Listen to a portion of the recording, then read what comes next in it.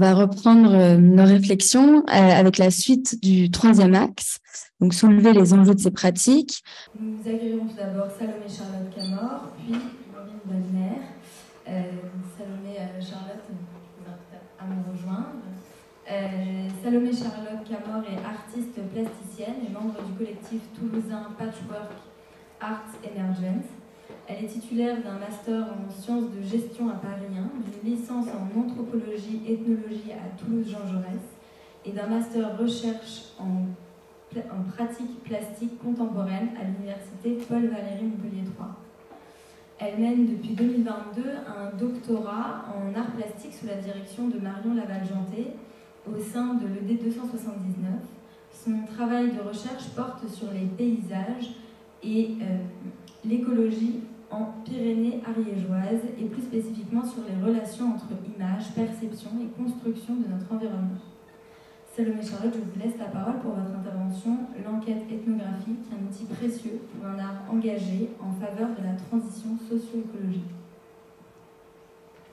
Bonjour à toutes et à tous. Euh, merci aux organisatrices. Euh, je vous propose au cours de cette présentation de soulever euh, quelques enjeux autour du recours à l'enquête ethnographique dans le cadre d'une pratique classique engagée en faveur de la transition socio-écologique. En 1824, l'ingénieur Sadi Carnot, étudiant l'économie des machines à feu, mit à jour le caractère irréversible de certains transferts d'énergie.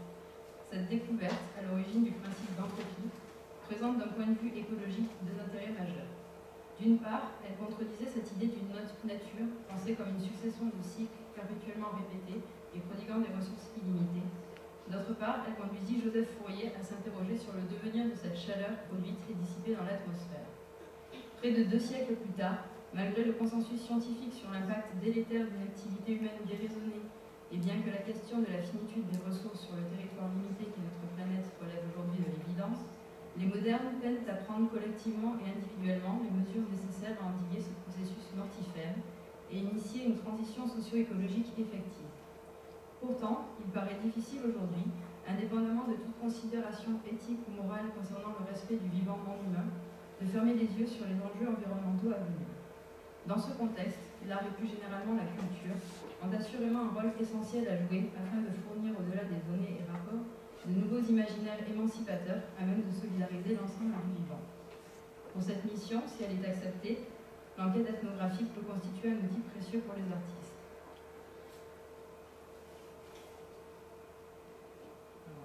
Merci.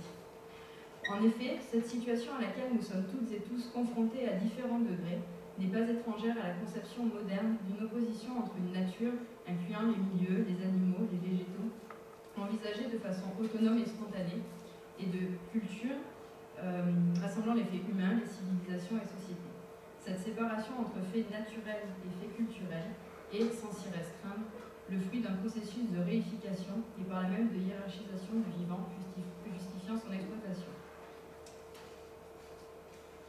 Cette thèse euh, se trouve notamment au cœur de l'ouvrage Les Lumières à l'âge du vivant de Corinne Peluchon,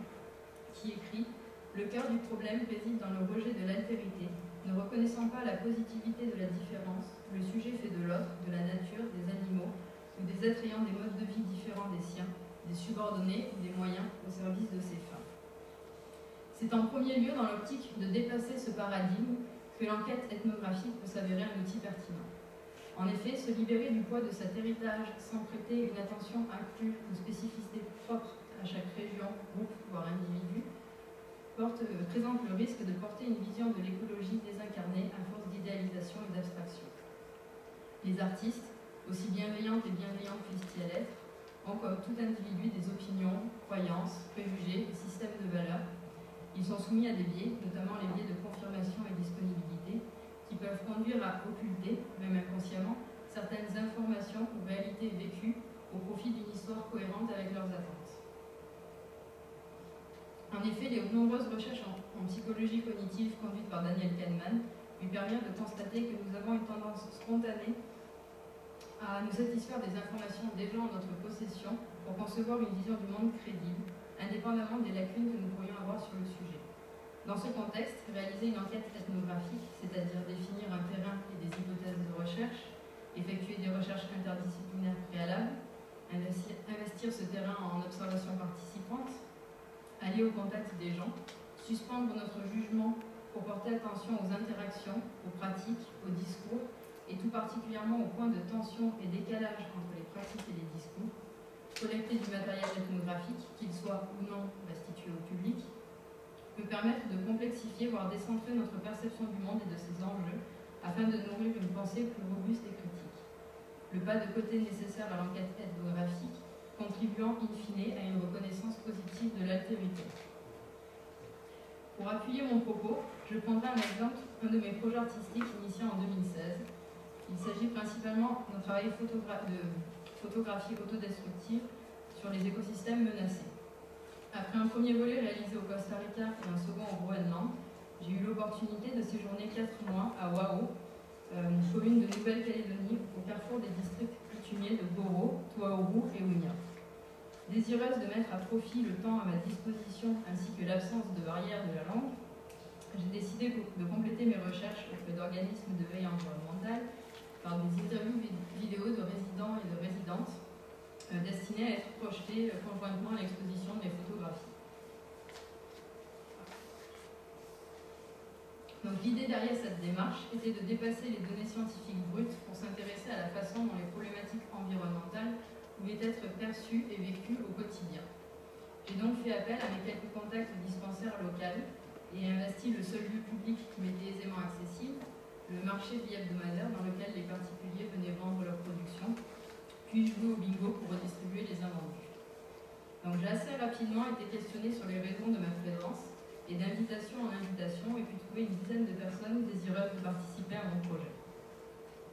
Euh, afin d'éviter d'influencer les participants et participantes, j'ai décidé d'opter euh, pour des entretiens peu structurés, avec pour seule consigne de les inviter à se présenter pour parler de l'importance de la biodiversité dans leur quotidien, et éventuellement, s'ils le souhaitaient, euh, adresser un, message au public de la future exposition. Malgré le peu de consignes, ou peut-être grâce aux faibles contraintes, certains entretiens durèrent plusieurs heures et se prolongèrent hors caméra. Parmi les sujets évoqués, outre ceux auxquels je m'attendais, tels que la disparition progressive des mangroves, la sécheresse, les incendies, la montée des eaux, il fut également question de l'importance de la faune et de la flore dans la culture kanak, de la folklorisation de cette culture, et plus encore de l'influence délétère des bouleversements écologiques sur le tissu social local, au détriment des clans les plus pauvres, puisqu'une partie de la coutume kanak repose sur une culture à la saisonnalité perturbée. D'autres aspects intéressants qui furent abordés sont l'inadéquation entre les réglementations de protection environnementale et les pratiques culturelles locales, notamment au niveau de la pêche et de la traversée de certaines zones coutumières maritimes, ainsi que le sentiment d'injustice vis-à-vis de la destruction et de la pollution induite par les exploitations minières de nickel. Au fil des entretiens et des rencontres, je fus invité par un acteur éminent de la lutte pour la protection de l'environnement à une réunion de reprise entre les dirigeants de l'usine de Nickel Valley et les chefs de tribu. Et à la sortie de la réunion, alors que je naviguais sur le site en tentant de repérer des personnes susceptibles de m'en apprendre davantage sur la situation, un de mes interlocuteurs me demanda ce que j'avais pensé de la réunion. cette question euh, me surprit, ne disposant que de peu d'informations et surtout ne souhaitant pas compromettre euh, mon enquête par un manque de neutralité, je mis en avant mon statut d'observatrice d'inviter, étrangère de surcroît, pour me soustraire à la question. On me fit cependant comprendre que la discussion cesserait si euh, je ne répondais pas franchement. Je me prononçais donc et euh, fus immédiatement euh, embarqué en, manifestation et en conseil de résistance. L'expérience qui déboucha sur de nouvelles rencontres fut très intéressante, mais soulève la question de l'influence de l'artiste sur le terrain et indirectement de la valeur à accorder aux données récoltées. Donc en effet, la valeur des données récoltées est souvent corrélée à une neutralité qui, même lorsqu'elle est, euh, même lorsqu'elle est euh, partie intégrante de la méthodologie de l'artiste, n'est pas toujours soutenable sur le terrain. Cette question, bien sûr, ne peut être totalement écartée, mais elle me semble être à pondérer par plusieurs éléments, relativisant l'importance qui va être accordée à une neutralité attendue pour valider la scientificité du matériel récolté. D'une part, le choix d'un terrain en lui-même n'est jamais neutre et relève déjà en, soi d'un choix politique. De plus, comme l'écrivait Kilani en 1994, le terrain n'est pas une entité déjà là, qui attend euh, la découverte et l'exploration du chercheur. C'est le chercheur qui crée son terrain, et euh, croire le contraire serait occulter le fait que toute récolte de matériel, indépendamment du traitement dont il fait l'objet, et déjà en soi une construction. Il est également intéressant de rappeler que l'ethnographie n'a pas été exempte de crise de scientificité. Nous pouvons à ce titre rappeler la polémique Mead-Freeman, ou encore la publication posthume du journal intime de Bronislaw Malinowski, révélant le décalage entre l'écriture ethnographique et le vécu de l'ethnographe. Ces crises, ayant contribué à mettre en exergue le caractère construit de l'enquête et de l'écriture ethnographique, n'ont en rien altéré la valeur du travail de l'ethnographe, qui, tout comme l'artiste, doit articuler objectivité et subjectivité, aussi bien sur le terrain que dans la restitution du matériel.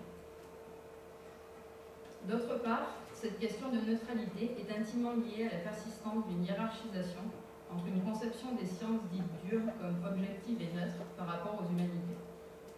Or, l'apport des penseurs post-structuralistes nous ont permis de mettre à jour le caractère historiquement et socialement situé du discours scientifique,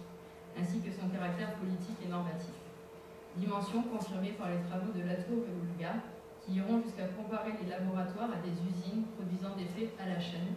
et altérant un peu plus la croyance en, une neutralité affirmée des sciences sur euh, l'idure sur les humanités.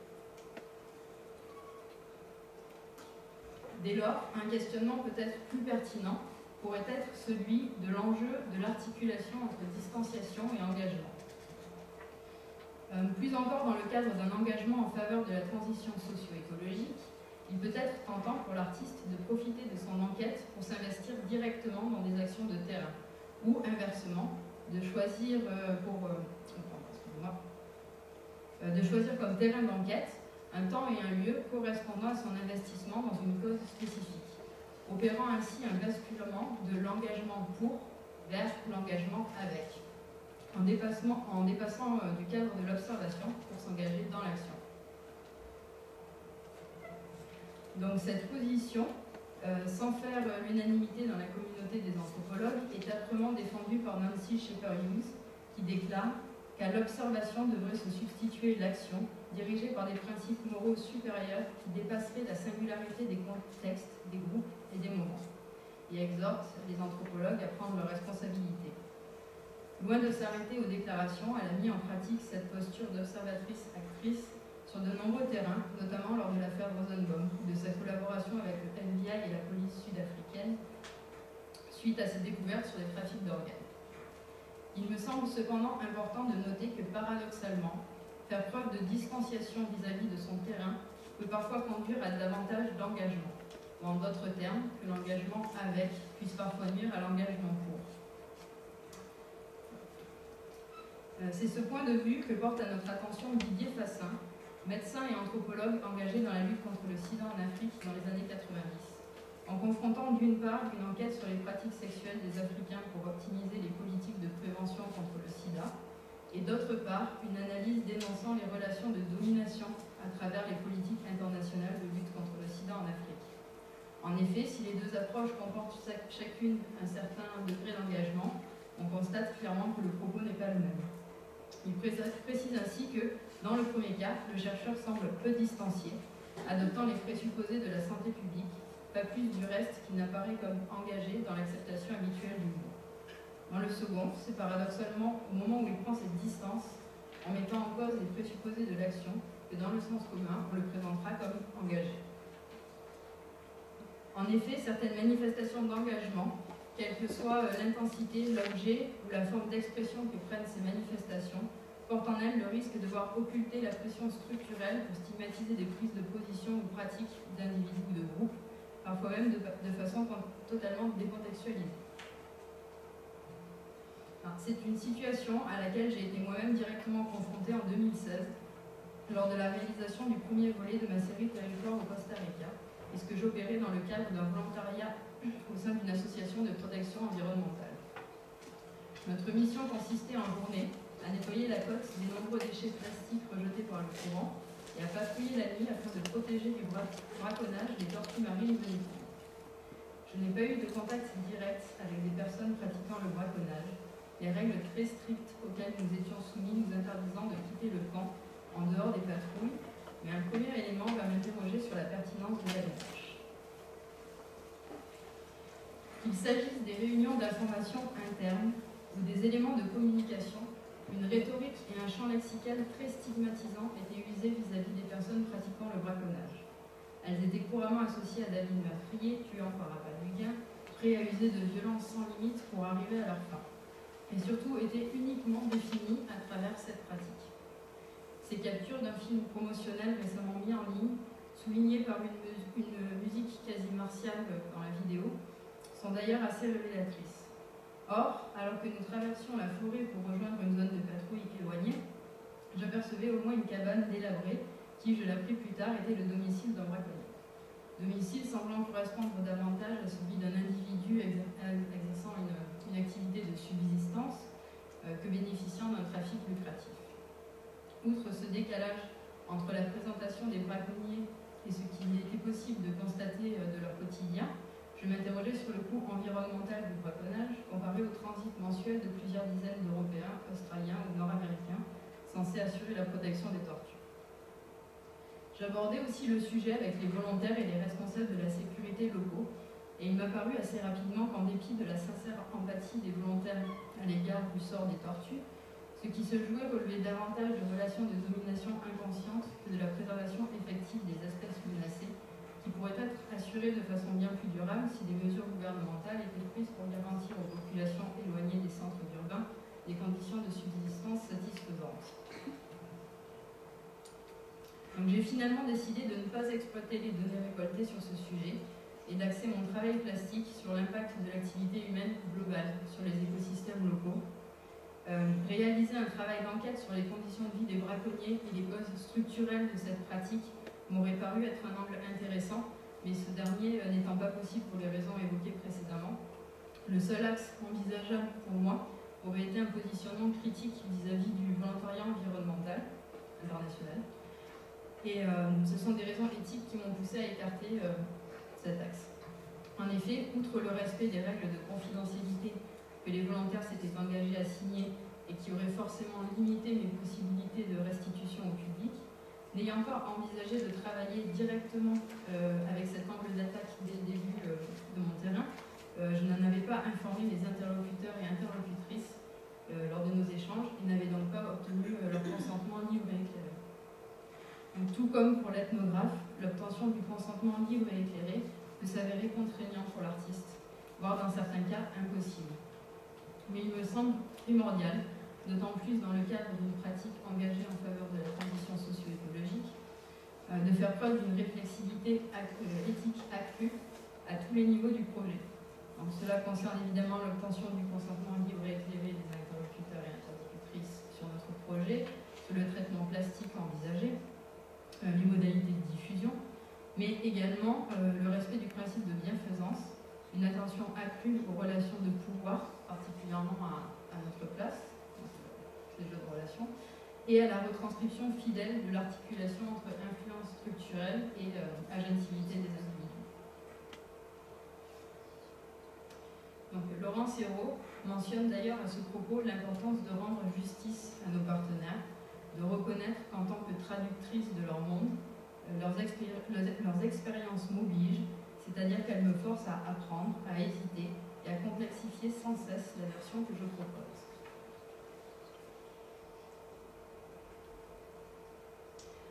Nous pouvons donc constater que le recours à l'enquête ethnographique est un outil de choix pour prendre en compte, si ce n'est rendre compte, de la complexité et de la diversité des rapports à l'environnement et nourrir ainsi une approche exigeante des enjeux, socio-écologiques de notre temps. Multiplier les points de vue, se concentrer sur les points de friction et de variation entre les discours et les pratiques sont autant d'éléments à même de contribuer à développer une pensée plus robuste et une conception bienveillante de l'altérité, proche ou lointaine. Cependant, que le matériel récolté au cours de l'enquête ne soit qu'un terreau pour la création, ou que celui-ci soit restitué plastiquement par l'artiste à travers un travail de construction souvent plus assumé que ne l'est le travail d'écriture ethnographique, le recours à cet outil dans le cadre d'une pratique plastique engagée en faveur de la transition socio-écologique ne peut se dédouaner des mêmes exigences de rigueur réflexive quant à la méthodologie mise en entre distanciation et engagement, et surtout à l'éthique.